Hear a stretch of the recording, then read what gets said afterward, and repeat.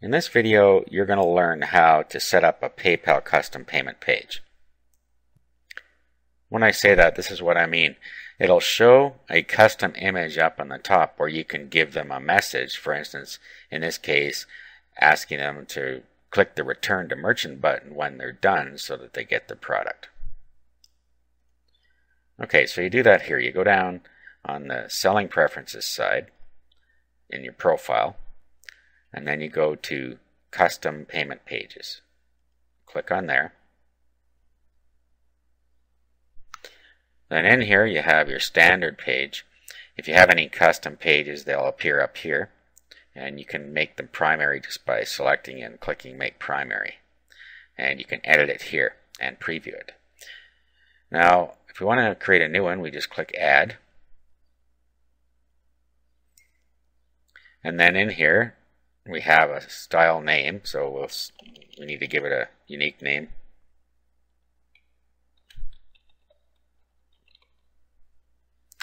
The header image, you should make a header image or you can create a background color for the header and you can have a header border color and then a background color for the rest of the page. So you can just set colors or you can add a header image URL. So I'm going to go and show you how to create your own custom image. I've actually given you a blank in here so that you can just use that and modify it as you see fit. Now in your package you will see a file called blank.jpg.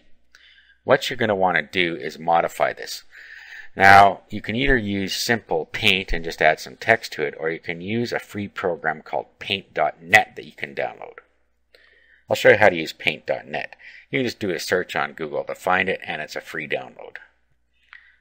Okay, so here's what paint.net looks like. So what I'll do is I'll open my file.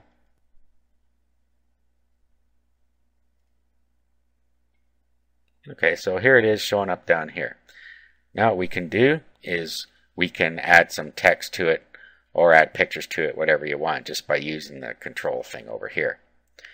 Now if we wanted to bring in an image, we could just go into layers and then we could go import from file and then we could bring a picture in.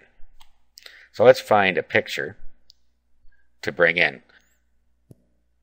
Okay, so I'll just bring this one in for instance.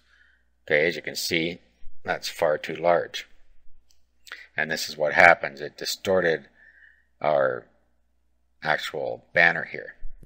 Okay, so let's undo that, and then I'll go back and I'll show you how to modify it. So we click undo.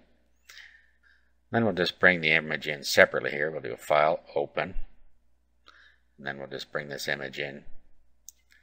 Okay, now we didn't lose our other one. See, it's sitting over here, and our image is sitting here. So let's make the properties of this. So we'll go to image. We'll do a resize. And then we're going to click maintain aspect ratio and then we'll just click this to be 70 okay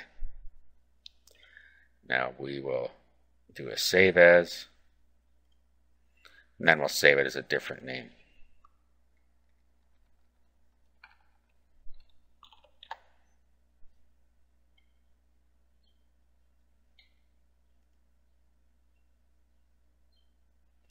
Alright, so now we go back to our first project by clicking up here.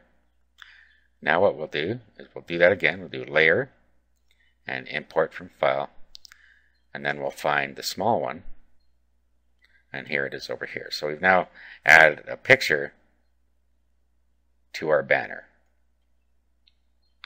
Okay, so that's on fine. Now what we'll do, when we have that where you want it, put it wherever you want it on here. And then what we'll do is we'll do edit and deselect. Okay, so that's now sitting there. Next thing you want to do is do layer, add new layer, and then maybe you want to put some text on here. And just put our text for my page or whatever, whatever you want on here. Or you could create a graphical text.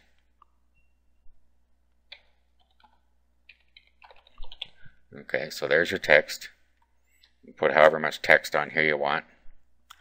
Then when you're all done, what you want to do And I would do a save as so you don't overwrite your original. So you could make more banners.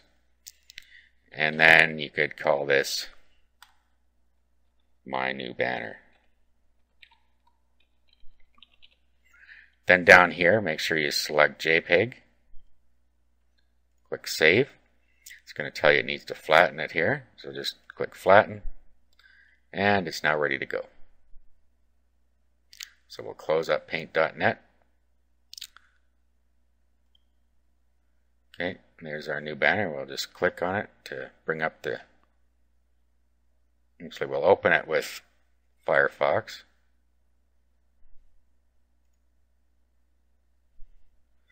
Okay, there it is. It's hard to tell because it's on a white page here, but remember it's sitting in the PayPal page box. So now what we have to do is we have to upload this somewhere because it's expecting a URL. So I'm going to upload it to one of my domains. So I sign into my cPanel, go to File Manager, and then in this case Public HTML, and then I'll go into Images, and then I'll go Upload Files, and then I'll find it on my computer and I'll upload it here. Click Browse, select it, we'll upload. There it is there. Now we'll go back to PayPal. Now we'll put the URL to our image right here. There we go. And then I could make a background color if I want. And like I said, I can make a border color. And we can put in a color code for the background color of the page if we want. Let's do a preview. Okay, there we are, and our custom banner showing on top. So I click return. And then all we have to do is save our page. And then if we want it to show up on all of our pages whenever somebody goes to pay us, all we have to do is make it primary by clicking this button and it will show every time our payment page is shown. Okay, so that's it. So that's how you create a custom payment page for PayPal.